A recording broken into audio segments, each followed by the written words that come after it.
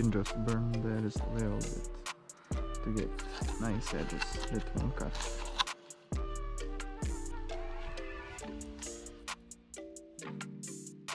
This is my old mortar and I'll use it for this purpose.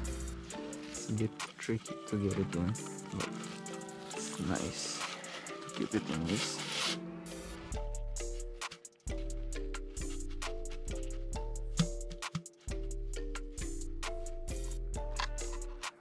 This is just the bottom from the bottle.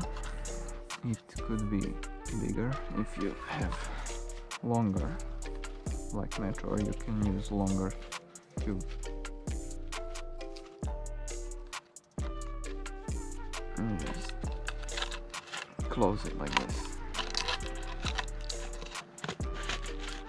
And that's it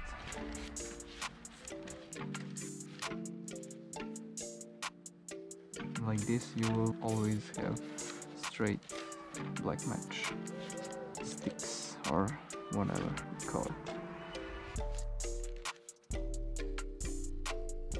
That's nice